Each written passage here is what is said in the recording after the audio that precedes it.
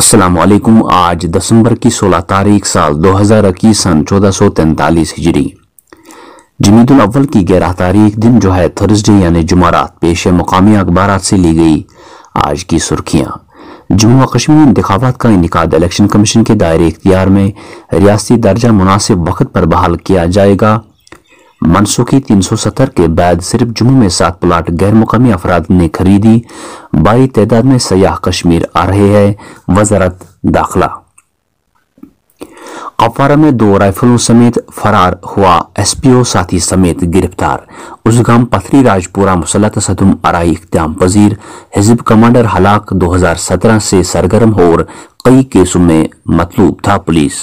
रेडवनी बाला कुलगाम में शबाना जड़ब वसी इलाका मुहासरे में ऑपरेशन जारी। लेफ्टिनेंट गवर्नर की जैर सदारत इंतजामी काउंसिल का अजलास मुख्तलिफ़ अवामी मकासद के लिए सरकारी ज़मीन की मुंतकली को मंजूरी। कनूर तमिलनाडु हेलीकॉप्टर हादसा, वाहिद ज़िंदा बच जाने वाला ग्रुप कैप्टन फोत। भारत में ओमिक्रॉन का फैलाव चार नए केस की तस्दीक मजमू तदाद छप्पन बंगाल सर फहरिस्त ट्रैफ़िक कवानीन की खिलाफ वर्जी करने वालों को बख्शा नहीं जाएगा। एजाज असद अब बहानाबाजी नहीं चलेगी। कवानीन पर अमल दरामद लाजमी। कश्मीर में अमन अमान की सूरत हाल बेहतर हो रही है। नौजवान खुदे की तरक्की और अमन के लिए अपना किरदार अदा करें डीपी पांडे। जम्मू कश्मीर अपनी पार्टी को खैरबाद कहकर इरफान मतो सजादगनी की मौजूदगी में पीपल्स कॉन्फ्रेंस में शामिल। जम्मू कश्मीर ने अपनी नवियत के पहले जमीनी पासबुक उर्दू हिंदी और अंग्रेज़ी में जारी किए जाएँगे।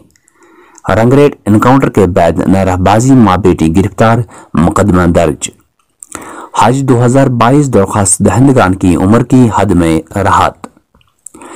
और आखिर पर वादी कश्मीर में सर्दी की शिदत में रोज बरोज इजाफा डल झील के अंदरूनी हिस्से मनजमंद श्रीनगर में सर तरीन रात रिकॉर्ड।